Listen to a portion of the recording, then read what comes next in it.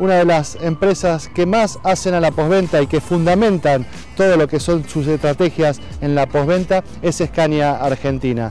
Scania a nivel mundial, obviamente en este caso la filial que nos representa en nuestro país. Por eso vinimos hacia su planta, acá en, en la provincia de Buenos Aires, para hablar de la actualidad de la empresa en materia de posventa. Por eso conversamos con su gerente comercial en servicios, con Leandro López, y lo compartimos con ustedes.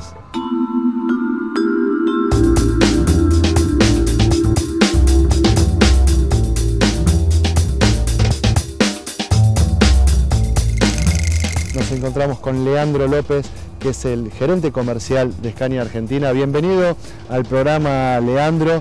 Esta presentación en sociedad para, para, romper este hielo, contame un poquito cómo fue tu experiencia dentro de Scania. Sabemos cómo, cómo se puede ir haciendo una trayectoria dentro de la empresa. Me imagino que, que tu llegada a la empresa fue hace, hace bastante tiempo, ¿verdad?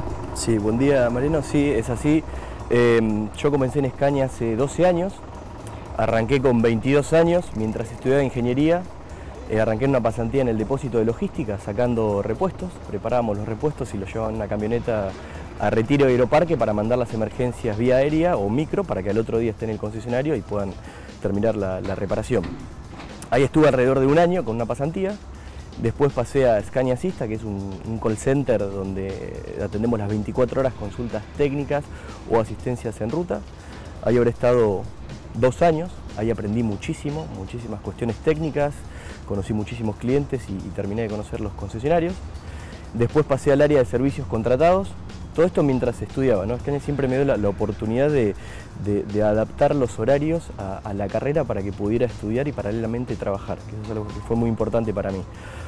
Después pasé a la parte de contratos, estuve alrededor de tres años eh, en, servicios contratados. Luego pasé a la, parte comercial de servicios, estuve un año. Después estuve en España, un año trabajando como responsable para lo que es el desarrollo de servicios en los semirremolques, para dar servicio no solo al camión, sino al semirremolque en nuestros concesionarios. Luego regresé en 2013, ocupando la, jefatura de, del área de contratos y el año pasado bueno, este, me promovieron a, a, gerente comercial con la responsabilidad en toda la parte comercial y la parte de contratos también. Menuda responsabilidad la que tenés en una empresa tan importante a nivel mundial. Eh, contame cómo es tu día a día, ¿a dónde tiene que poner Leandro la mirada cada mañana cuando llega a la empresa? Bueno, primero llego todas las mañanas, saludo a, todos, digamos, desde el primero hasta el final los saludo. Eh, luego, a ver, estamos, eh, nosotros estamos eh, siempre muy cerca de los clientes. Eh, tenemos un equipo comercial que está en, la calle, que está en los concesionarios. Los concesionarios tienen mucha cercanía con los clientes y siempre estamos tratando de conocer la, las operaciones para ver de qué manera lo podemos acompañar. En un contexto como este, bueno, siempre el, acompañamiento y el entender a los clientes es, es fundamental para, para, que desarrollen el negocio y nosotros junto, junto con ellos también. Puntualmente estamos viendo una situación de, cambios en el país en lo que tiene que ver con lo que es dirigencial y también en la economía y eso en una empresa como Scania repercute inmediatamente. ¿Cuál es el presente de Scania? ¿Cuáles son los números de Scania y cuál es la visión en este momento de Scania? Más allá, más allá obviamente de, de lo que es global y de lo que ya está planificado hace mucho tiempo, puntualmente ahora. A ver, ¿cómo, ¿cómo vemos el año? Venimos con un año bueno, venimos con un año bueno, en unos primeros meses por ahí un poco más eh, no sé si difíciles, pero más este, intensos en cuanto a, estar cerca de los clientes y acompañarlos. Eh, la actividad del transporte la vemos bien, digamos, no hemos tenido caída en los kilómetros, digamos, nosotros medimos el índice de kilómetros que recorren los clientes, no hemos tenido grandes caídas en eso, con lo cual eso nos da una buena señal de que la actividad del transporte sigue. Eh, y nos da a nosotros la, visión de acompañar eso en, este contexto de, de, cambio para, bueno, nosotros siempre apostamos a relacionamiento a largo plazo.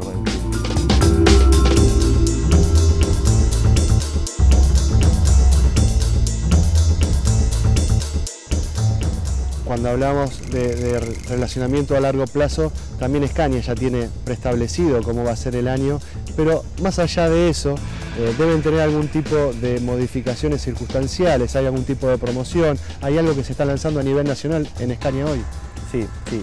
Hemos lanzado una, promoción de servicios con un descuento del 15% en todos los repuestos Eso es para que los clientes, ¿cuál es el objetivo de esto? Que el cliente siga trayendo nuestros camiones a los concesionarios. El servicio es algo que no lo puede dejar de hacer el mantenimiento, sí puede tal vez eh, eh, posponer alguna reparación por un tema financiero, pero el servicio lo tiene que hacer. Entonces, bueno, hemos hecho un esfuerzo enorme para, poner nuestros precios en un nivel que el cliente lo pueda, lo pueda seguir trayendo eh, y acompañarlo en este contexto. Todo el tiempo estamos negociando con nuestra casa matriz que está en, Latinoamérica, que está en Brasil, para ver de qué manera nos acompaña en este contexto, con, algunos esfuerzos, con algunos esfuerzos en lo que es este, precios de repuestos y demás. Eh, y bueno, hoy te puedo decir que venimos con, un buen nivel. Tenemos mucho por hacer, tenemos mucho por hacer, pero estamos en, un buen nivel con los clientes. Y cuando hablamos de repuestos, yo la pregunta obligada es cómo es el abastecimiento de esos repuestos, porque eh, no pasa inadvertido que es muy importante tener estoqueado lo que después la demanda del concesionario, obviamente del consumidor final, va, va a golpear la puerta. Bien. Bueno, nosotros hoy mm, algo que medimos es el índice de cumplimiento. ¿Qué es el índice de cumplimiento? Es cuántos repuestos nos piden en los mostradores de los concesionarios y cuántos tenemos para entregarle en ese momento o máximo 24 horas. El índice hoy nos está dando más de un 96%. ¿Qué significa? Que de 100 repuestos que nos piden, 96 tenemos para entregarle en el concesionario o máximo en 24 horas mandándolo desde nuestro almacén que está aquí atrás. Tenemos entrega todos los días, dos entregas diarias y tenemos envíos de emergencia por la noche, si hay algún concesionario alguna reparación urgente y en ese momento no está el repuesto, lo mandamos vía aérea desde acá para que llegue al otro día. nuestra, nuestra gran preocupación y el esfuerzo es que el camión esté la mayor parte del tiempo disponible rodando.